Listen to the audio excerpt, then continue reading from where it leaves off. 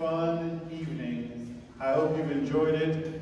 Uh, we tried to find a way to showcase all of our students in a year that they didn't get to be showcased as much as usual. And I appreciate you being patient. I appreciate you being uh, always willing to do what we have to do for these kids because they deserve all of our efforts. And I very much appreciate all that you've done to help make this year as good as it could possibly be. So before we close the concert, I do wanted to thank a few people. First of all, our, uh, once again, our mayor, Mr. Whitten, and the city of Crestview for providing this opportunity.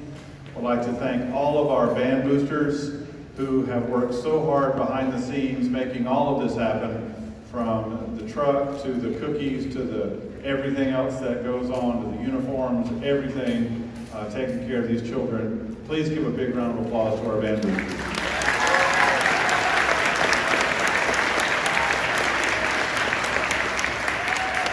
Again, thanks and congratulations to Mr. Pereira. Way to go, Gio.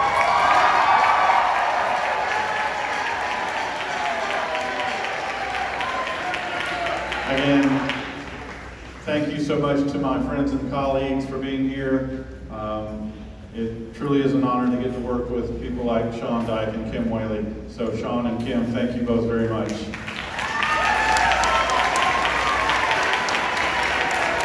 And last but certainly not least, one of my heroes, one of my dear friends, my fishing buddy, my in the morning talking to buddy, um, one of the biggest supporters of the Crestview High School Band uh, ever, one of the truest supporters of all of Crestview High School ever, um, someone who means a great deal to me and to all of us.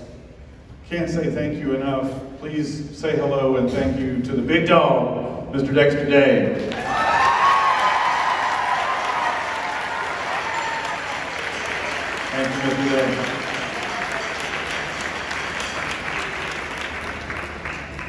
And we will close our Christmas concert with a traditional closer of the Big Red Machine. Again, thank you all for being here.